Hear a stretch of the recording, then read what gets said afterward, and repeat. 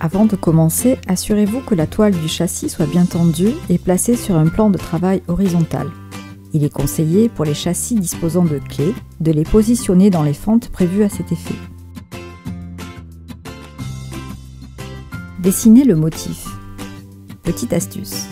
L'avantage de dessiner avec le feutre fugace est que le trait disparaît après application de la peinture. Appliquez le cerne relief hors roi sur le tracé du feutre. Petite astuce, tapotez le support afin d'arrondir le cerne juste après l'avoir appliqué. Préparez la résine de glaçage en mélangeant la résine et son durcisseur. Petite astuce, afin d'avoir un mélange le plus homogène possible, le transvasez d'un gobelet à l'autre. Utilisez les pipettes pour appliquer la résine de glaçage.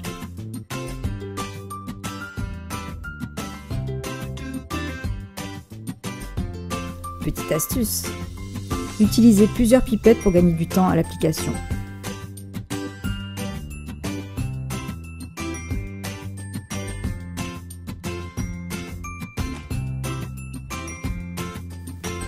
Bien mélanger chaque couleur avant emploi. Appliquez les couleurs à l'aide des pipettes à l'intérieur des espaces définis par les cernes.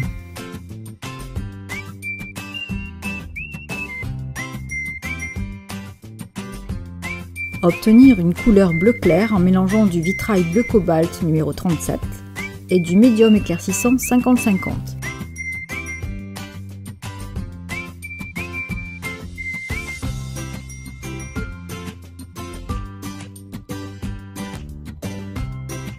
Appliquez généreusement le mélange avec un pinceau forme éventail numéro 6.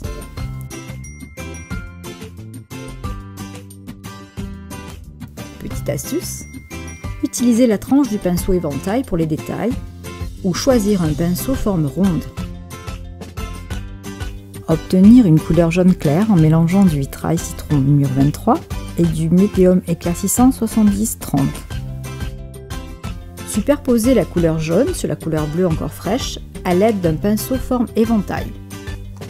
Appliquez le même mélange de jaune à l'aide d'une pipette pour les troncs des baobabs.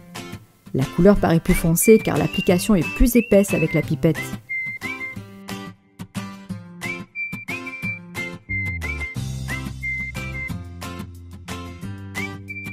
Mélangez la couleur Fantasy Moon Ébène numéro 26 avant emploi.